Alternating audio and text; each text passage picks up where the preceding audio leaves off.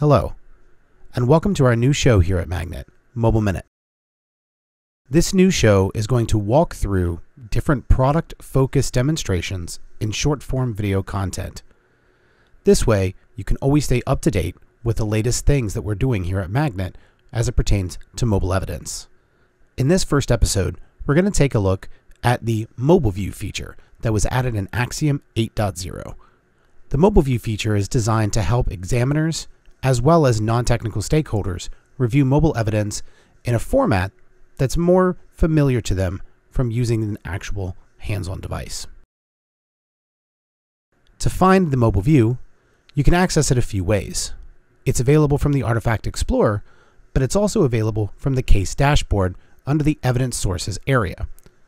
If we click on the device listed under Evidence Sources, we can actually see the mobile view now populated here in our evidence source information area.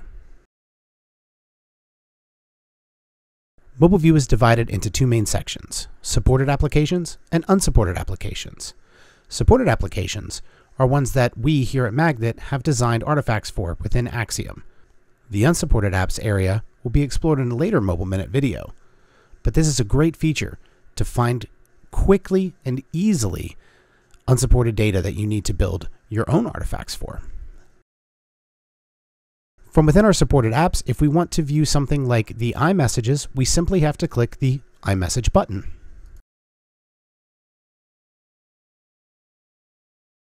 Doing so will now load that data over here inside of our Artifact Explorer and will bring us right to Conversation View. There are additional options for Mobile View that we can change to give us a different view depending upon which artifacts we select. Many of the icons listed under supported apps are curated artifacts that may not contain the entirety of our ability to recover all of the artifact data. This is because that we have curated specific artifacts within an application to better present that information to non-technical stakeholders. It's always possible to review all of the information in any view that you wish simply by changing the view area from conversation back to column or or even making adjustments back by clicking on the artifacts tab which will show you all of the artifacts which matched with that. For now, this has been our first mobile minute and we'll see you next time.